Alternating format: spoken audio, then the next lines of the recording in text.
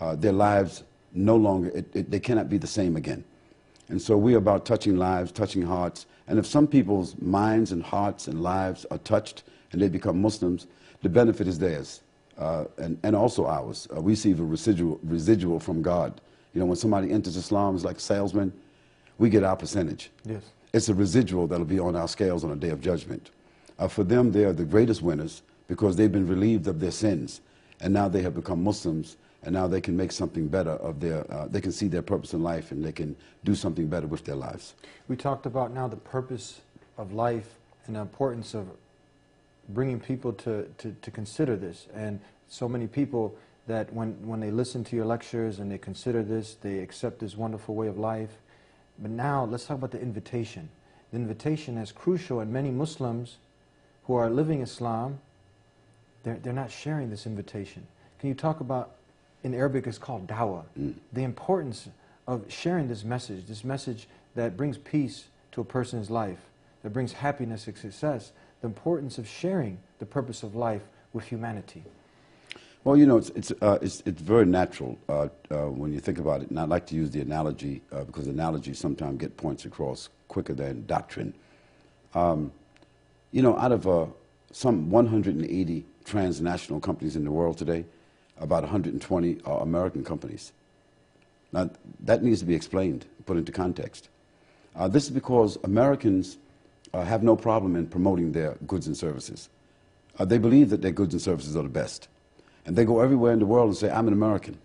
And their goods and services are embraced by people all over the world. If a Muslim believes that their faith system and their values is the best that the world has to offer, why wouldn't they share that with another human being? And if they're not doing that, then there's probably some psychological or personal um, um, deficits that they have.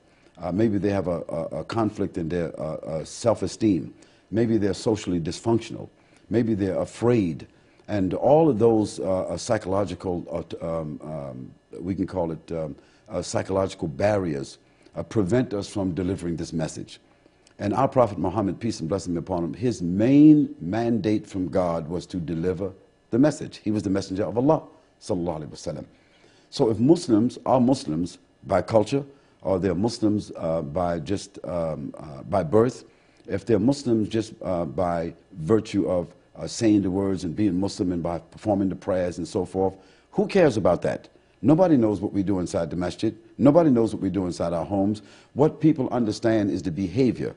What people understand is the character. What people understand is the residual, the final product. And if people are proud about the products and services that they represent, they speak to the world about it.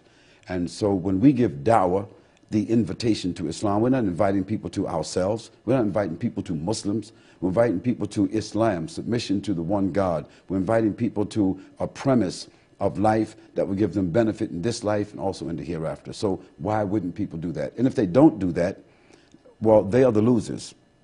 Uh, and then uh, those of us who have adopted that mode uh, uh, of responsibility, and that's what it is. It's a social responsibility that we have to what deliver the message. Because if we don't deliver the message, then we're like an ambassador that was sent out from the king, and we arrived in a place to deliver a message on behalf of the king, and we got so engrossed with the society uh, that we were sent to, we forgot to deliver the message.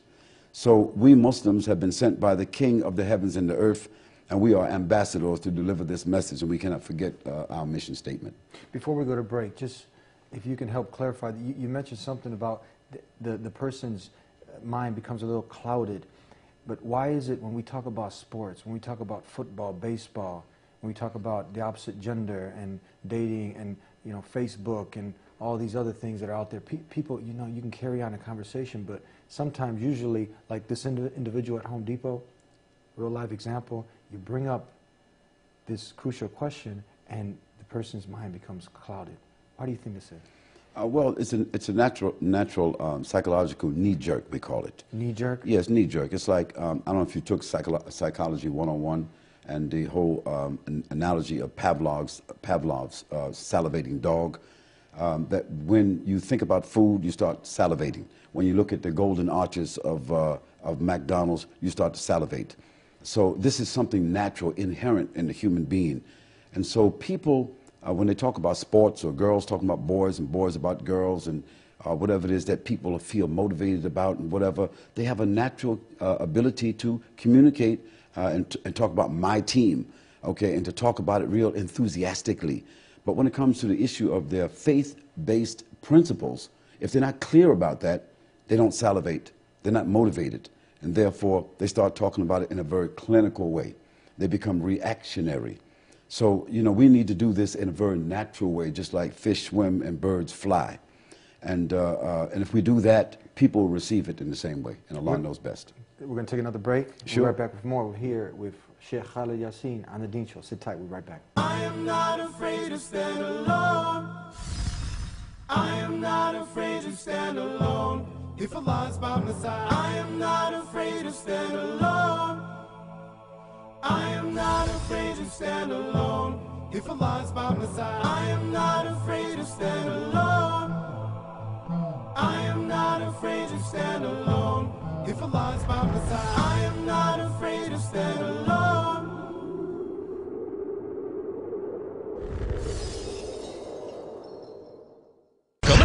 what everyone's talking about. أشهد أشهد أن لا أن لا إله إله But the argument here is that God, out of His love, Because in all honesty, if you really wanted to do something, you're gonna find a way. Where there's a will, there's a way. absolutely. Th- there are a few problems here. Why were people of generations and generations and generations being told to worship one God, ask that God for forgiveness, ask Him for, for salvation,